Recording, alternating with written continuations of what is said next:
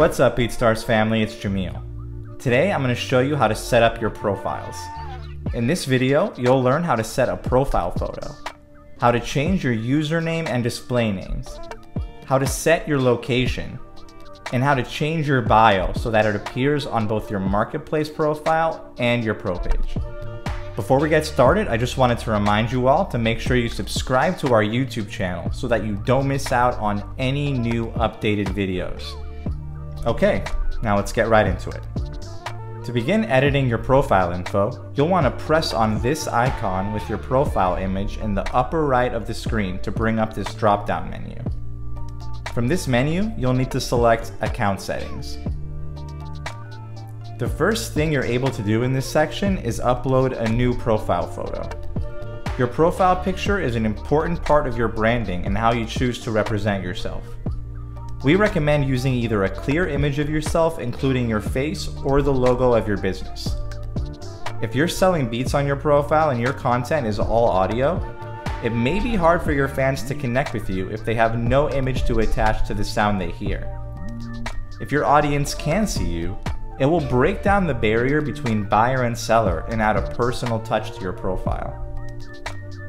Another good option here is your business logo. Having a logo you connect to multiple pieces of content can be a great way to establish recognizable branding.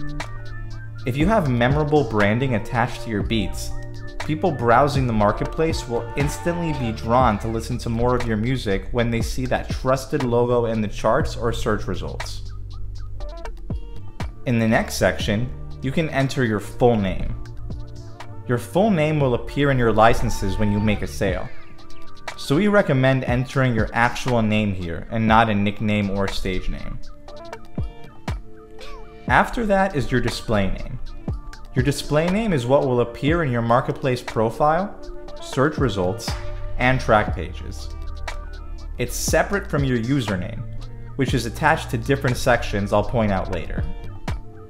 Display names are what visitors of your page are going to be seeing, so make sure you put some thought into choosing your display name. Our advice would be to try to keep your username and display name similar if you can, as that will simplify things for you and your customers. But this is not completely necessary. Your display name and username can be entirely different, and you can change your display name as often as you'd like. Next is your location. You can type anything here. Setting your location can help other local musicians find you to reach out for collaborations and let your audience know where your music comes from. It's another great way to connect with your customers. The last section here is your bio. This is your chance to let visitors of your page know what you're about and offer any additional details that might help you make a sale. This would be a great place to let people know of any major placements you might have, your background making music, or even outline a particular discount or promotion you have going on. This bio is also connected to your About page on your Pro page, if you're a Pro page user. The last section of your profile I want to talk about is your username. To change your username, you'll need to visit the Credentials section of your account here. Before you change your username, it is important to know that your username is primarily used for login purposes and URLs. Your marketplace profile username will be beatstars.com slash your username. And your pro page default URL will be your username.beatstars.com. So, if you'd like to change your URLs or login credentials, changing your username will be the way to do that. Once you've decided you want to change your username, click the Change Username button and enter your new desired username and password to make it official. Thank you for watching this video.